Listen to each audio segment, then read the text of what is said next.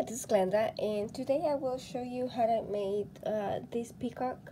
It's actually really easy because I just used a mold, and the mold I made out of polymer clay years ago, and then I used silicone to do it. Um, but um, I wanted to show you this, which is something that I made out of soap dough, and it's just pretty much different colors of soap dough roll into each other to simulate the eye of the peacock feather.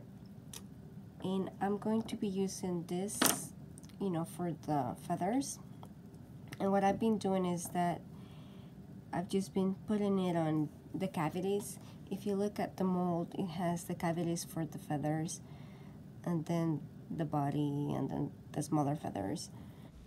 Now I know that you probably don't have a mold like this but I think you may have a similar one or you may have um, maybe it's not an animal mold that you have it may be an object for which multiple colors would be ideal.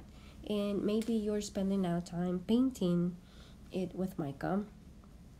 In painting with mica even though it looks gorgeous at the end it does have the drawback that it only lasts one time. You know once you put water into it it washes off and it's gone. If you put color soap dough, on the other hand, it would last longer than that. Depending how thick you make it, it will last just the thickness of the embed. Now I've mentioned before that I make my own soap dough and I do it following a recipe from Billy from Sorcery Soaps and I hope I'm pronouncing her name right. But uh, if you don't want to make your own soap dough, you could also buy it. She sells it on her website, um, sorcerysoaps.com, I believe it is. And you can buy different colors to play with it. And it actually, a little bit goes a long way. I've made my soap dough, I made about a, a pound of each color that you see here. And they lasted me quite a while for several decorations because you only used a little bit for the decorations. You don't use a whole lot really. One of the advantages of using soap dough instead of melt and pour is that you can remove it from the mold uh, quite fast. I usually leave it in the mold about a minute or two and then I remove it. And if I want to make another figure then I can use the same mold um, with melt and pour, for example, if you want to make multiples of something, you have to have that many cavities. Otherwise, you have to melt it, pour it, wait for it to harden, remove it, and then reuse it. Using soap dough, it's a little bit faster, actually a lot faster. And you don't have to have uh, multiple molds. You could just have one and just use that one for all of your embeds. Now, yes, it's not as fast as doing a whole bunch. If you're doing maybe more than a dozen, I'll probably recommend multiple molds. Okay, so because of the shape of the mold, I found that it works better because it, you know, it has, these are supposed to be feathers, the longer feathers, and this is supposed to be the shorter ones. So I try to squeeze the dough together outside and then put it in so that it sort of matches the mold. Now on this one, the yellow is coming to the actual body of the peacock and I don't need it, so I'm gonna remove it manually. And then the actual peacock, I want him to be blue or turquoise. So I'm gonna fill it in with that. And it does help if you have a smooth surface going in because that's gonna be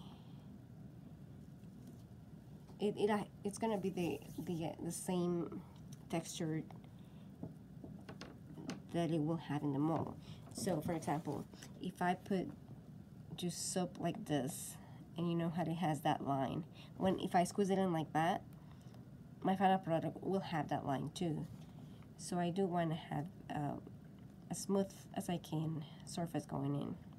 I'm gonna use some of this yellow for the beak. And then the leftover I'm just gonna mush it all together and it does help to have like any extra ones that I have I'm just gonna put them on top. It's not going to be seen. This is the part that's gonna go into the soap but it does help to have a thicker piece. That way they won't break easily. And when it comes out of the mold it will be actually easier to get it out. So this is pretty much it uh, what's next is that I'm going to um, let it air dry for a little bit maybe a couple minutes and then I'm going to remove it. Now before I do that though I'm gonna clean up the mold so that I define the edges of it and to lift sort of move the soap dough along that shape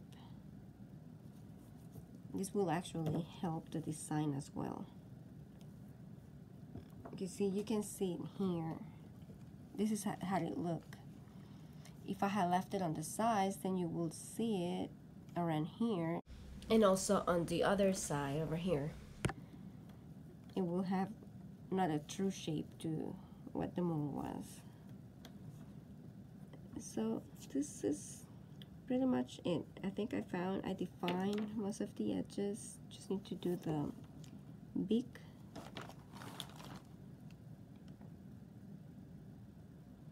And now I'm gonna let it dry a little bit. Okay so it's been a few minutes and now I'm gonna unmold it.